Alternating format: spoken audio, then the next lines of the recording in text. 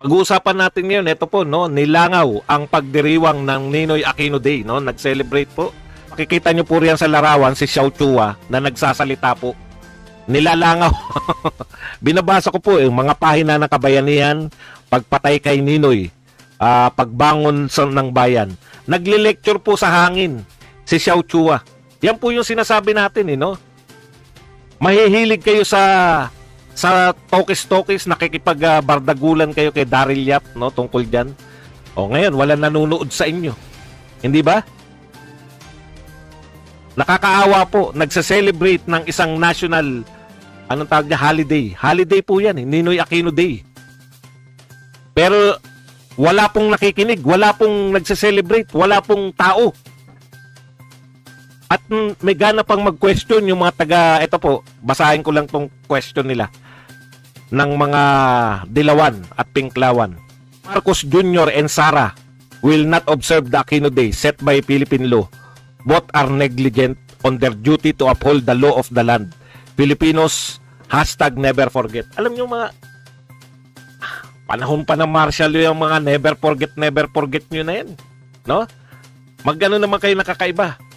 Usually, ipapalabas nyo na naman yung pagbaril kay Ninoy, ipapalabas nyo na naman yung mga speeches ni Ninoy, no?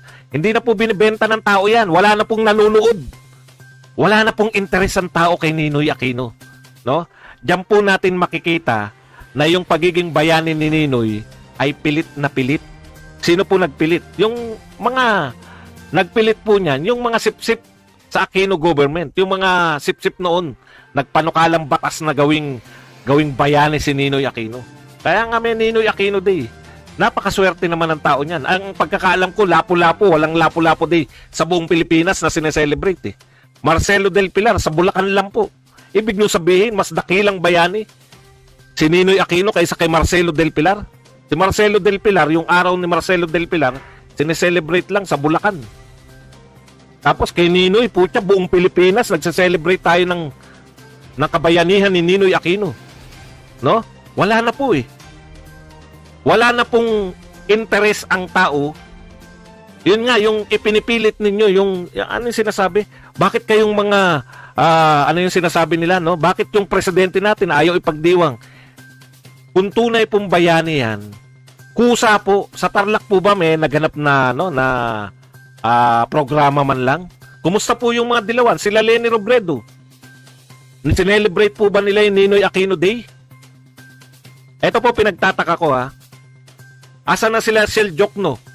Asa na yung mga yung mga dilawan na uh, sumusuporta sila Kiko Pangilinan, sila Lenny Robredo? Bakit wala silang celebration ng Ninoy Aquino? Kung yung mga kakampi ni Ninoy, yung mga dilawan, hindi nagsa-celebrate, eh, expect nyo, wala na po yung tao dyan.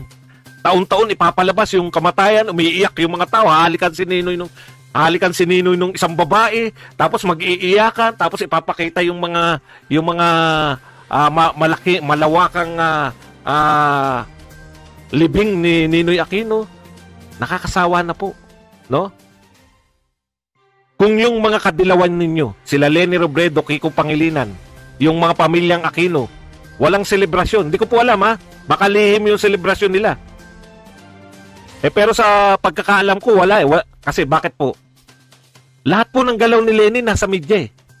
Kung hindi nag-celebrate si Lenny Robredo, expect nyo, ito po ang pinakamalaki kong question. Wala ring rally para kay Ninoy. Ibig sabihin, etong sila Baba Reyes, sila Renato Reyes, hindi ba nila kinikilala si Ninoy? Ikalawa kong napuna dyan, si Lenny, si Lenny Robredo ba talaga tuluyan ng tinablay yung mga Aquino? Tinu, tuluyan ng tinablay yung, yung association niya? Inilalayo niya ba talaga yung sarili niya sa mga Aquino? Kasi wala tayong nakita eh. Nasa, nag-celebrate o meron man lang mensahe o kung ano pa man na ipinalabas si Lenny Robredo. Ang nakita natin, dahil pasukan, ito yung angat buhay. Angat buhay strengthens community learning for young Filipinos. O yung community learning na bawat barangay ay merong isa. Hindi po lahat ng barangay ha. May isang room sa bawat barangay na tinatawag niyang community. Pantapat niya sa DepEd. O eh naroon si Lenny. Bakit wala siyang pinapakita na celebration sa Makino?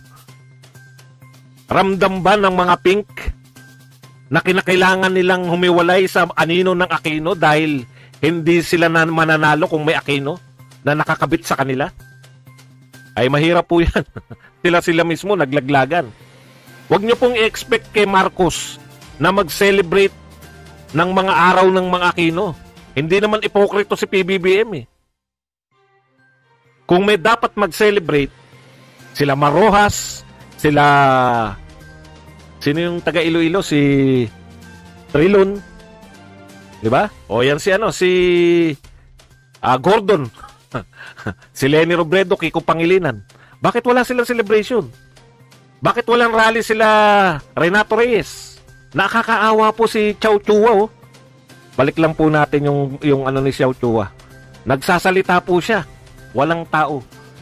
Eh, boss boss, baka nasa stage lang yung kinukunan kaya hindi mo makita yung tao. Naku po, alam niyo yung mga dilawan, mahilig po yan magpakita ng crowd kung may totoong crowd.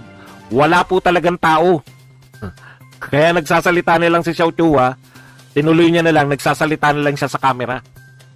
Yan po ang nakakaawang kalagayan. Yan po ba bayani? May nakita ba kayo nag-celebrate ng bayani?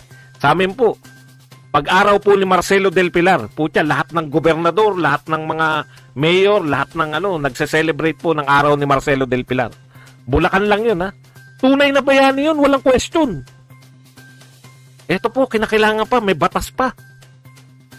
Binatas pa yan.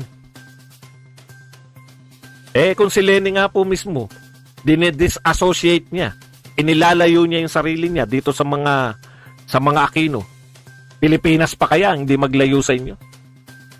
Ganyan talaga buhay. Natin meaning naman damasan, no? Sabi po ni Father Sok, Ah, uh, Father Sok po ang kanyang pangalan pero ano po to si Bishop Socrates. Yeah? You can be rich by accepting bribes and not paying taxes. But only men and women of integrity have the credibility to lead by example. You can allow the trolls to tap you in the service, but only humble, li- selfless leadership can inspire. No? Okay. Ah, uh, inaano nyo, 'di ba? Nagpapatama kayo. Alam naman namin na uh, Father, uh, Bishop, Bishop Sok, wag na tayo magbulahan, no? Hindi nyo pa direktahin eh. Alam naman namin na yung si Pangulong Marcos yung binabanatan ninyo na accepting bribes and not paying taxes but only men pwede nyo kasing i-deny no ang gagaling nyo rin mga mga kaparian eh, no okay you can allow the trolls oh malamang naman dalawa lang yung pinagbintangan yung may trolls si BBM at saka si Duterte to top you in surveys o oh, malamang si BBM yan kasi si Duterte nung araw, hindi.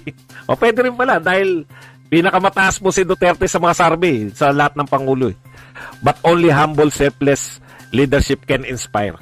Tigil-tigilan nyo kami mga damaso, no? Ako naman may saying din sa inyo.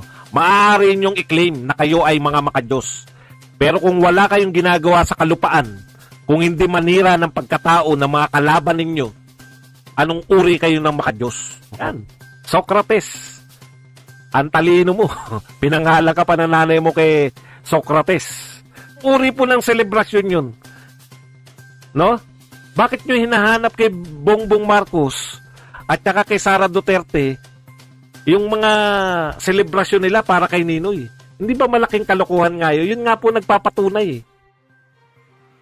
Kino-question namin yung pagiging uh, bayani ng uh, ni Ninoy Aquino. Di ba kayo nakakahalata? Yan po eh, kung may duda, wala pong bayani na hindi sineselebrate.